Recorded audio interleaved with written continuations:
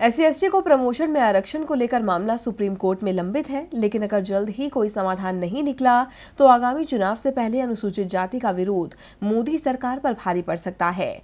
इसलिए सरकार ने इसका तोड़ निकालने के लिए प्राइवेट सेक्टर में एस सी एक्ट के लिए आरक्षण का कार्ड खेला है।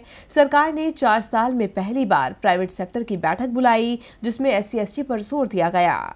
चार साल में मोदी सरकार ने कभी प्राइवेट सेक्टर की बैठक नहीं बुलाई। यहाँ तक कि कई मंत्री सवाल भी उठाते रहे कि प्राइवेट सेक्टर की ओर कौन देखेगा। मगर पीएम मोदी ने कोई ध्यान नहीं दिया।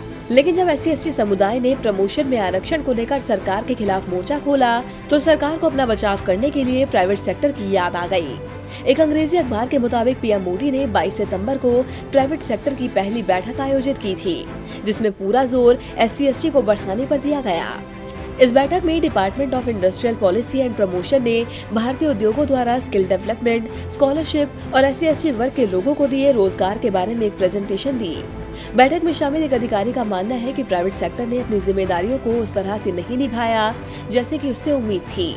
इस बैठक में सरकार ने बाईस हज़ार ऐसे गाँव की लिस्ट तैयार की है, जिनमें एस सी जनसंख्या काफ़ी ज़्यादा है। सरकार ने प्राइवेट सेक्टर को इन गाँव को गोद लेने के लिए प्रेरित किया है। ताकि यहाँ स्किल ट्रेनिंग देकर समाज के निचले तबकों को नौकरियाँ दी जा सके। इसके साथ ही सरकार ने प्राइवेट सेक्टर को एसटी वर्ग के युवाओं को स्कॉलरशिप देने के लिए भी प्रेरित किया।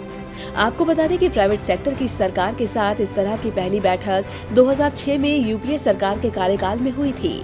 इसके बाद यूपीए सरकार के साल 2014 तक के कार्यकाल में इस तरह की कुल सात बैठकें आयोजित की गई लेकिन साल 2014 में सत्ता में आने वाली एनडीए सरकार की यह पहली बैठक है। इस बैठक को चुनावी रणनीति के तौर पर देखा जा रहा है। डीबी लाइव की रिपोर्ट। हमारे चैनल से जुड़े रहने के लिए यूट्यूब पर टाइप करें डीबी लाइव। सब्सक्राइब बटन को क्लिक करें और बेल आइकन को दबाना न भूलें ताकि खबरें आप तक पहुँचती रहें। देखते रहिए डीबी लाइव, क्योंकि यहाँ हैं खबरें लगातार।